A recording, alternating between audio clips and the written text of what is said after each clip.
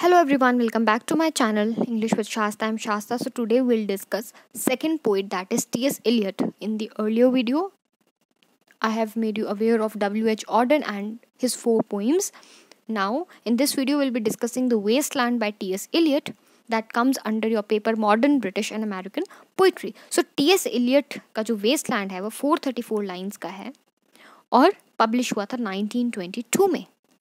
ठीक है 1922 is very very important क्योंकि इसी टाइम पे जेम्स जॉइस का यूलिसिस भी जो है वो पब्लिश हुआ था।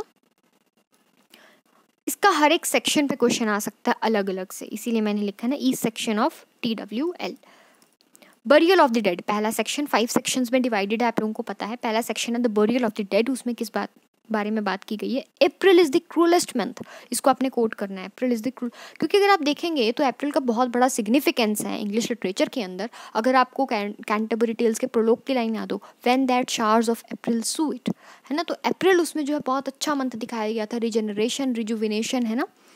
तो यहाँ पे कैसा दिखाया क्रूलेस्ट मंथ दिखाया हुआ है। बुरा दिखाया है, क्योंकि ये कौन सी सेंचुरी चल पड़ी है? Twenty century twenty first century में हम पहुँच गए हैं आज के टाइम पे। यहाँ पे ट्वेंटी सेंचुरी की बात हो रही है, जो कि बहुत ज़्यादा मॉडर्न एज बहुत बुरी एज थी। यहाँ पे क्या नेचर भी डेड है। यहाँ पे किसके बारे में डिस्कस किया गया मॉडर्न वेस्टलैंड आज के टाइम को इसने वेस्टलैंड जो है वो यही है। मॉडर्न एज ही वेस्ट लैंड है, ये बता रहा है इसमें। पूरे के पूरे फाइव सेक्शंस में यही बताता है। पहले सेक्शन में चार एपिसोड्स आते हैं। पहला एपिसोड किसका आता है? पहला एपिसोड ऑटोबायोग्राफिकल है, आपने याद रखना है थोड़ा। सेकेंड सेक्शन जो है, उसमें क्या एक जर्नी दिखाई जाती है। जर्नी कहाँ पे है? डेजर्ट की तरफ़। और डेजर्ट आपको पता है, वैसे ही बंजर होता है तो उसको हम वेस्ट जो है वो बोल सकते हैं। ठीक है, और चाइल्डहुड मेमोरीज में हासिंत गर्ल का। यासिंत गर्ल का जो है रेफरेंस है, वो आपने ज़रूर लिखना है। थर्ड में मैडम सोसॉस्ट्रस जो कि फ्यूचर वगैरह की इवेंट्स को बताती है, उसका ज़िक्र है। फोर्थ एपिसोड में unreal city dream like London ही होगी ये तो। ठीक है अनरियल ड्रीम लाइक सिटी के बारे में जो है, हमें रेफरेंस देखने के लिए मिलता है। चार स्पीकर्स हैं। ठीक है, और उनके आसपास कौन है? डेड पीपल है। मरे हुए लोग हैं। डेड पीपल ये ऐसा नहीं कि सच के मरे हुए लोग हैं। मतलब कि डेथ डी के ये सब हमें उस सेंचुरी के अंदर देखने के लिए मिल रहा था that is twenty century heap of broken images इसका भी आप रेफरेंस देंगे कि किस तरीके से जो है वो हमें हीप ऑफ़ हीप होता है ढेर। ऐसे करके ढेर जब हम किसी चीज़ को रखते हैं ना, गिराते चलते गिराते चलते, फिर ऐसे ढेर बन जाता है। तो हीप ऑफ़ ब्रोकन इमेजेस हमें देखने के लिए मिलती हैं। फाइनल लाइन में हम देखते हैं कि हम डेजर्ट से सी की तरफ़ चले गए। ओशन कैसा बताया है? ओशन को as an empty devoid of possibility of healing नहीं तो पानी जो है हील करता है, लेकिन यहाँ पे पानी हील नहीं कर रहा है। ठीक है? एक ड्राउंड सेलर का रेफरेंस है। ठीक है? और ड्राउंड सेलर का रेफरेंस जो है वो शेक्सपियर के द टेम्पेस्ट में भी है। अगर तुमने पढ़ा हो, तुम्हें याद हो तो। अनरियल सिटी जो है अनरियल सिटी पेरिस लंडन ये सब है। बॉदलियर एक राइटर है। ठीक है? उन्होंने पेरिस को अनरियल सिटी बताया है। डिकन का लंदन अनरियल सिटी था। क्यों था अनरियल लंदन क्योंकि वहाँ पे वो चिमनी स्वीपिंग और वो सब काम करे थे, अगर तुम्हें याद हो ऑलिवर ट्विस्ट डांटे का हेल डांटे ने जो अपना वो उसमें हेल की डिस्क्रिप्शन दी थी उसने, है ना? डिवाइन कॉमेडी वगैरह जो भी है उसने दिया है। तो उसने हेल और पैराडाइज वगैरह की डिस्क्रिप्शंस दी थी हेवन की डिस्क्रिप्शंस दी थी। तो इस तरीके से इनको भी आप एल्यूड करोगे। एल्यूड मीन्स एल्यूजन करोगे इनका भी आप रेफरेंस दोगे इनका भी। और मॉडर्न लाइफ की फ्यूटिलिटी को दिखा रहा है। बैरननेस जिसको हम बोलेंगे। नेक्स्ट जो इसका सेक्शन है अ गेम ऑफ़ चेस इसका टाइटल लिया थॉमस मिडल्टन का प्ले था गेम ऑफ़ चेस उधर से इसका टाइटल लिया हुआ है, आ सकता है। इसमें क्या दो ऑपोजिट सीन्स बताए गए हैं। एक सीन है हाई सोसाइटी का, एक सीन है लो सोसाइटी का। ठीक है, पहले हाफ़ में हमें क्या देखने के लिए मिलता है? कि ब्लैंक वर्ड्स में है और अपने प्यार का इंतज़ार कर रही है एक लड़की। ठीक है? सेकंड में क्या मिलता है हमें कि एक चीप रेस्टोरेंट का सीन है यहाँ पे और दो वुमेन जो है वो डिस्कस कर रहे हैं तीसरी औरत के बारे में। ऐसा ही है ट्वेंटी सेंचुरी के अंदर। वुमेन की डिस्क्रिप्शन कैसी है? लाइक अ बर्निश्ड थ्रोन ये भी आप लिखेंगे। बर्निश्ड थ्रोन थ्रोन अपने आप ही पावर को बता रहा है। तो इसका मतलब क्या है? वो अपर क्लास की कोई औरत के बारे में जो है वो एल्यूजन है। फ़र्स्ट वुमेन जो थी, वो हमें ऐसा लग रहा है कि क्लियोपेट्रा डीडो किड्स की लेमिया इसमें एल्यूजन है फ्रस्ट्रेटेड दिखाई गई है वेट कर रही है ना फ़र्स्ट मतलब जिसमें बर्निश थ्रोन है है ना, दोनों बातें कर रही हैं थर्ड के बारे में, ठीक है? और ड्राउनिंग जो है, वो शेक्सपियर के टेम्पेस्ट को दिखाया है पेंटिंग्स जो हैं, वो रेप ऑफ़ फिलोमिला पे दिखाया गया है फिलोमिला का रेप उसके बारे में जो है वो डिस्क्रिप्शन है। कम्युनिकेशन नहीं है, एक लवर वेट कर रहा है ना तो कम्युनिकेशन नहीं है लिविंग डेड हैं ये लोग, कि जी भी रहे हैं और डेड भी हैं। ठीक है? डेड क्यों है? क्योंकि कम्युनिकेशन नहीं है मॉरल वैल्यूज़ नहीं है, कुछ नहीं है, ठीक है? कल्चरल इल्यूजन क्या है कि चेस का गेम है, ये कल्चर को रिप्रेजेंट कर रहा है कि उधर का कल्चर होता होगा शायद, ठीक है? चेस जो है वो लाइफलेस लाइफ का सिंबल है, क्योंकि चेस के जो वो आपके राजे, घोड़े वो सब होते हैं, वो क्या होते हैं? लाइफलेस होते हैं। उसको कहीं ना कहीं जो है वो ये डिपिक्ट कर रहा है। तो ये मॉडर्न वेस्टलैंड क्या है? कुछ नहीं है, बस कोल्ड स्ट्रैटेजीज हैं और ह्यूमन का कॉन्टैक्ट तो है नहीं आपस में। नेक्स्ट आ जाता है आपका सबसे लॉन्गेस्ट सेक्शन है द फायर सरमन का। फायर सरमन में बुद्धा और सेंट ऑगस्टीन के बारे में बात की गई है। फायर जो है यहाँ पे किसका सिंबल है? अर्दली पैशन का। और हम किस तरीके से फ्रीडम पाएँ? ये अर्दली थिंग्स से। जो वर्ल्ड है मटीरियलिस्टिक वर्ल्ड से वर्ल्डली थिंग्स से मटीरियलिस्टिक वर्ल्ड से हम किस तरीके से जो है वो फ्रीडम पाएँ? इसका स्पीकर टाइरिसियस है। टाइरिसियस हम, अभी हम आगे बात भी करेंगे, लेकिन टाइरिसियस जो है क्लासिकल मिथोलॉजी में एक कैरेक्टर है, जो कि मेल और फीमेल दोनों के फीचर्स रखता है। ठीक है, अभी हम आगे बात करेंगे टाइरिसियस की, तब मैं आपको बताऊँगी। और फ्यूचर देख सकता है टाइरिसियस एक यंग टाइपिस्ट का आपको इसमें रेफरेंस देखने के लिए मिलता है, और वो लवर का वेट कर रहा है। क्यों? For having sexual relationships physical चीज़ें कितनी फ़िज़िकल हो गई हैं। फिशरमैन की बार का रेफरेंस है थेम्स रिवर उसका रेफरेंस है। वेस्टलैंड कैसा है? कोल्ड ड्राई और बैरन है। ठीक है रिवर क्या है? एक डल डल कैनाल बन चुकी है, एक नहर बन चुकी है, जो कि क्या है? डल है। मीन्स हीलिंग तो है नहीं उसमें अब। ठीक है, इसका सेंट्रल थीम क्या है इस सेक्शन का?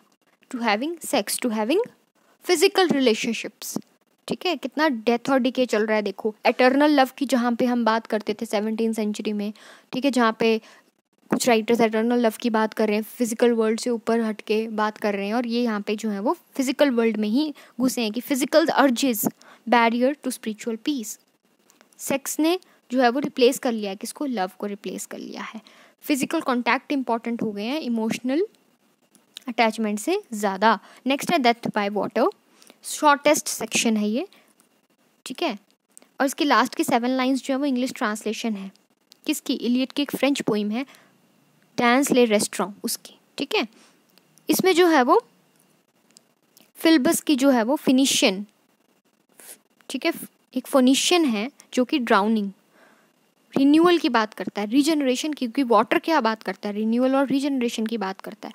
मैडम सोसॉस्ट्रस जिनकी हमने पहले सेक्शन में बात की थी, ठीक है, उन्होंने कार्ड निकाला, क्योंकि मैंने आपको बताया था ना, वो फ्यूचर देख सकती कार्ड निकाला और उन्होंने बोला कि, डर जाओ, क्योंकि वाटर से ही डेथ हो जा रही है। जहाँ पे एक वाटर हीलिंग का काम करता है, अगर आप उसमें देखें, गंगा जल कितनी हीलिंग का काम कर रहा है ना, लेकिन यहाँ पे क्या डेथ बाय वाटर एक सेलर जो है, वो बोलता है death by water physical reality जो है वही डेथ है। डिके जो है, वो ट्रायम्फ कर रहा है, वो जीत रहा है।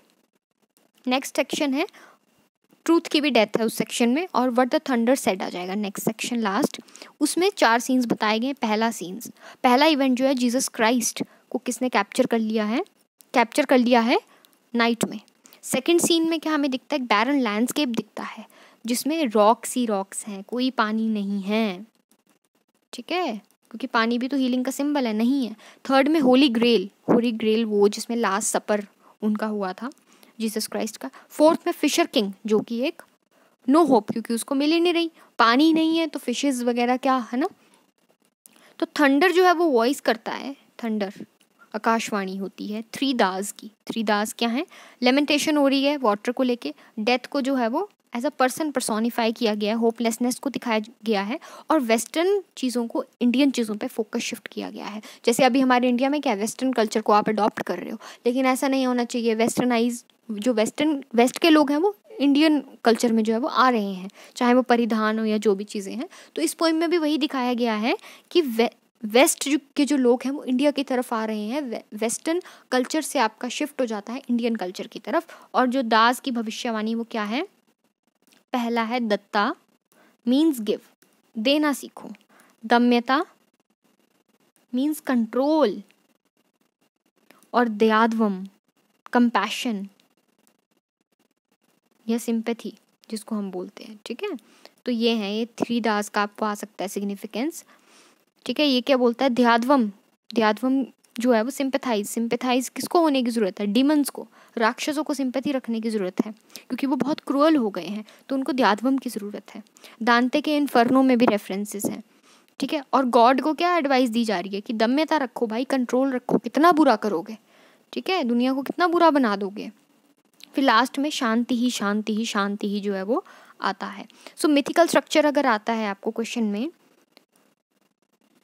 तो वेस्ट लैंड का तो बैरननेस है डिस्ट्रक्शन है, डिके है और कोई भी कम्युनिकेशन नहीं है। ग्रेल की लेजेंड है, मैंने आपको बताया था, लास्ट, जो कि लास्ट सपर के लिए उसने यूज़ किया था, क्राइस्ट ने वो है।